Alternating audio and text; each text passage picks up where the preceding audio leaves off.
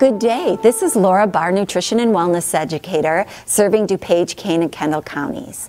And we are in February, which is National Heart Month. Last time we talked about heart disease and things to do to come against it.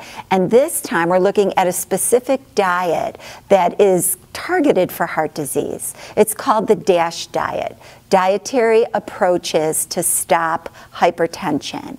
And the focus on it is eating a lot of fruit, fruit and vegetables. So make sure you're getting at least half your plate fruit or vegetables, maybe even more, would really help to bring down blood pressure. Another target is salt. It is, it is crucial to bring down salt or to get it out of your diet when you have high blood pressure. So, how are we going to flavor? There's other ways to flavor, and you can get really creative and discover all kinds of different herbs, spices. You could use them dry, you could use fresh, fresh parsley or dill basil for stronger pep, um, flavors, peppers, onions, garlic, all really great ways to flavor food without salt.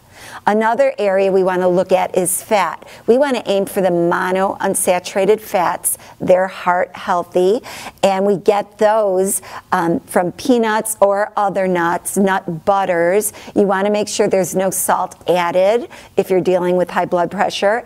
Olive oil and avocado is a monounsaturated fat. So we want to look at fats that are plant-based and try to eat more monounsaturated fats.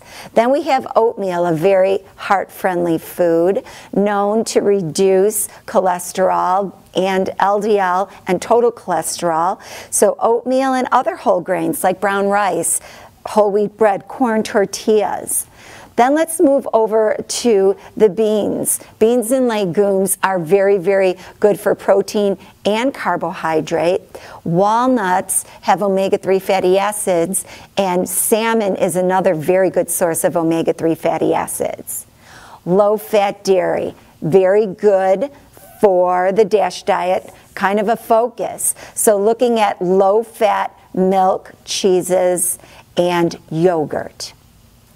I want to thank you for joining us today in this season in nutrition.